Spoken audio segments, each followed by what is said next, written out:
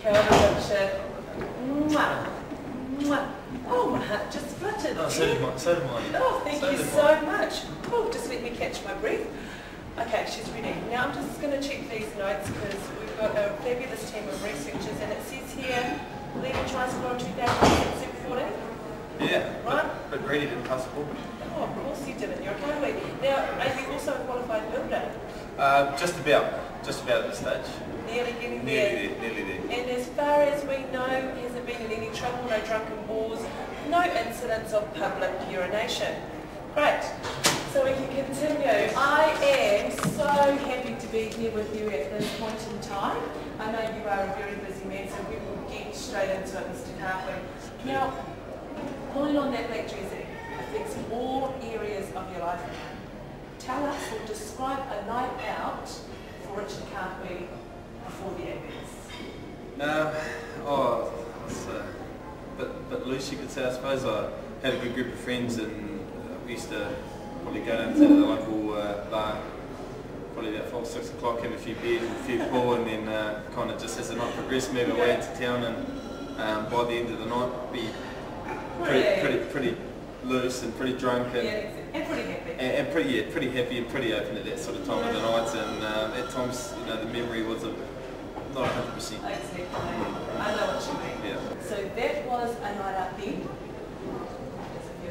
Years ago. Uh, yeah, well, it's actually since I've since I've been named an All Black, I've Yeah. only been out once or twice. Um, the first time after I played, I kind of went out and celebrated the fact that I'd, I'd been named as an All Black and played as an All Black. But um, you know, there's, there's been a lot of differences now. When you go somewhere, you've got a security guard, and uh, you you really got to watch sort of the limits you're drinking, and, and you just you just got to be a bit more conscious that. Um, you know, there's a few people out there that want to cause a bit of trouble, and, Mm. and someone like, like myself is a, is a good person to, to get into trouble with. I know. Do you feel pressured to be a role model now that you're an All Black? Uh, I- not so much. I just I just know that there's there's a lot of people out there that are uh, you know pretty quick to knock us down, or Yeah. uh, you know there's there's people out there that just want to cause trouble, and obviously you know looking at someone like us, we're, we're an easy target. We, Exactly. you know, so um, just a little more conscious about what I do when I'm out drinking now. Um, I suppose moderation. Yeah. I've been drinking a lot more moderation, and if I am going to have a few more drinks than you know than what I should, it's usually at home or in a, in a safe environment. How, you know, how easy is it now to just chill out with the boys, pop open a couple of cold ones and relax? Yeah. Is it easy? Uh, yeah, it's uh, again, it's, it's really where you do it. If, I'm, if I want a quiet night, a few quiet beers with the boys, or even a couple of LBs, but just with the boys, you know, I wouldn't, I wouldn't go to town. Uh, you know, just people, and you know, people interested in rugby, and, and people want to come and talk to you, but sometimes you just, you know, you just want to kick You back and kick back, relax, like, let the head down and have a few beers. So if, if that's the case, usually I'll go to my local, my local bar in Hamilton Yeah. there. Um, you know, the guys are all pretty good. They've seen me around there for the last few years, and I'm, you know, nothing special down there. So um, either there or just have a few beers at home, and it's probably where I enjoy having having a few beers. You must have some stalkers now. You're pretty fine looking young bugger, I must say, Mr. Cartwright. So, you know, Oh, I, don't, I don't know. I've, I've had a few, um, you know, a few letters and things like that, but nothing, nothing too intense. I think the uh, the biggest age group for, for me, the, the Warriors, kind of that age between six and nine. Um, I, I live I live just down the road from a primary school, and uh, as soon as those those blue blue card- cards came out, I had kids queuing up at my to sign cards. So that that's been my uh, my troublesome age group bracket.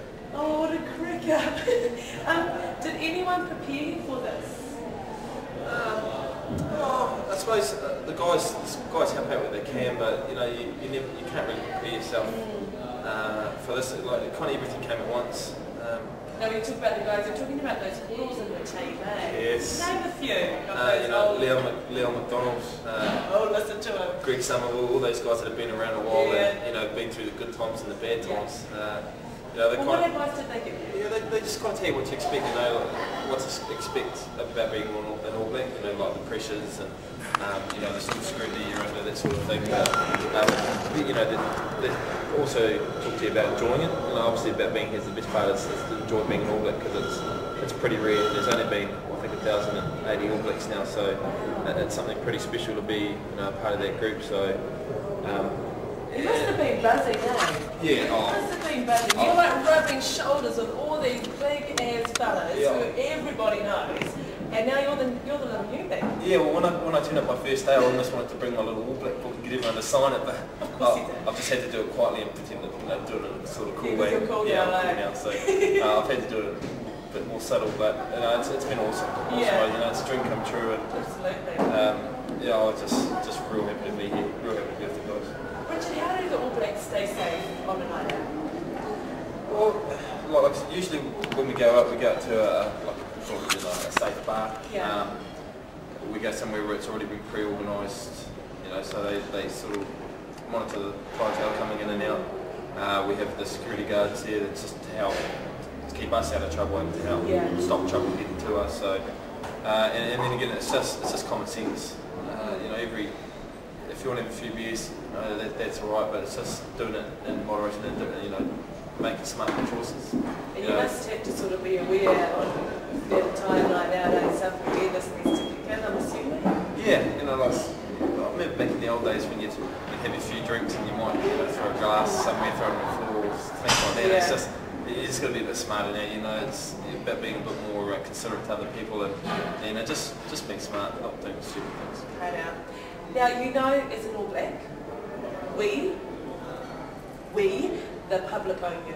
Yes, We own you. yes. And we love to tell you what we think, and we've got, I've got the opportunity now to tell you what you think, but I want you to tell me, deep, deep down in your heart of hearts, just between you, me, and the rest of the world Yes. too, yes.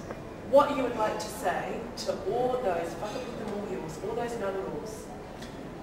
Oh, jeez, there's, a few others, isn't? Um, uh, probably just, if, if anything, I'll, people that are, are passionate about the All Blacks, Yeah. you know, passionate about the team, they're always going to have their opinion, and um, we certainly don't want them to stop having their opinion, but obviously, um, you know, it's it's tough at this level, you know, tough to win every game, and against great, like great sides like world champions South Africa and Australia, um, you know, times can get a bit tough, and, and when times are tough, it's um, it's easy to, to kick someone when they're down, but just What are your whānau like? Are your whānau really, s- are they- I'm just now, I'm thinking of Māori aunties and Māori nannies and Māori kuia have got a lot to say.